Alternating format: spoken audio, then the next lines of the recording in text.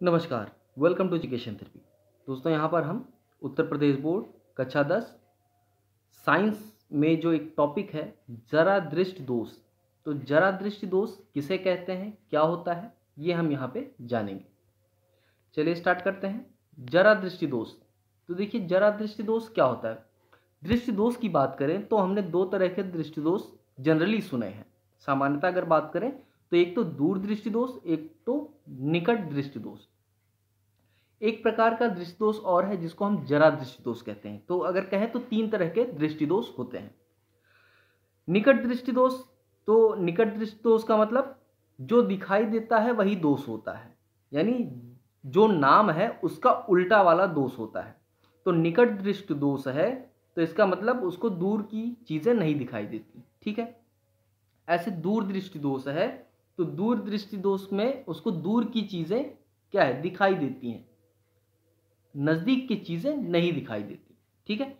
तो दूर दृष्टि दोष में क्या नहीं दिखाई देता? हम जो भी व्यक्ति होगा, अगर उसको दूर दृष्टि दोष है तो उसको निकट की चीज़ें नहीं दिखाई देंगी।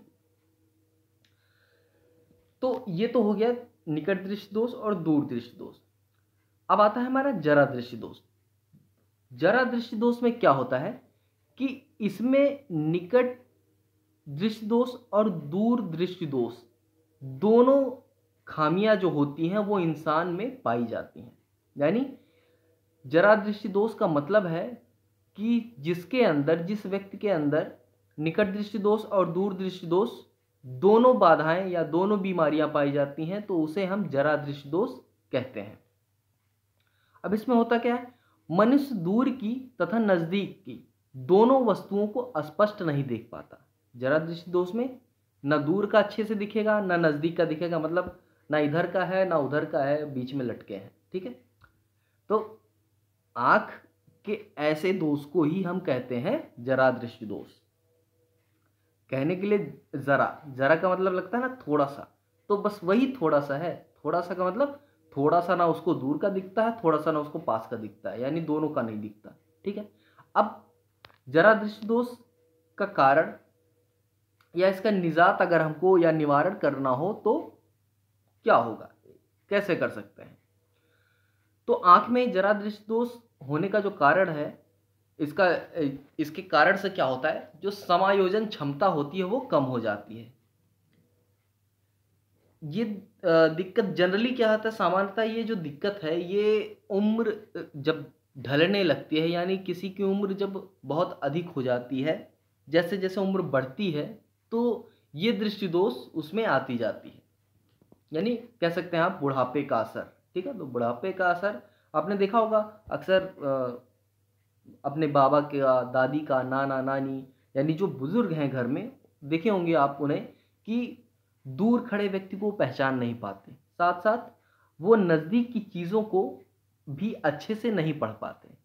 तो ऐसे दृष्टि दोष को ही कहते हैं जरा दृष्टि दोष अब इसका निवारण करना हो तो क्या ऐसे होगा?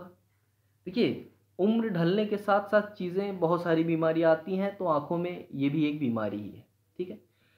लेकिन अगर ऐसा कुछ किसी को कम उम्र में होता है तो जनरली उसके लिए हमें इलाज करना पड़ेगा। तो क्या होगा उसका इलाज है? उसका इलाज है, दो फोकसी लेंस होता है उसके द्वारा हम इसका निवारण करते हैं। ठीक है? ठीक है? जरा दृष्टि दोष का जो निवारण है, वो दो फोकस लेंस या दो फोकसी लेंस होते हैं, जिसको द्वि फोकस ही कहते हैं। ठीक है? टूअल फोकस वाले लेंस होते हैं, उनके द्वारा ही हम इसका निवारण कर पाते हैं। तो उम्मीद है आपको समझ में आया होगा, जरा दृष्टि दोष क्या है? तो आपने देखा, यहाँ पे आपने यहाँ पे जाना, तीन तरह के दृष्टि दोष हो गए, जरा दृष्टि दोष, निकट दृष्टि दोष और दूर दृष्टि दोष। ठीक है?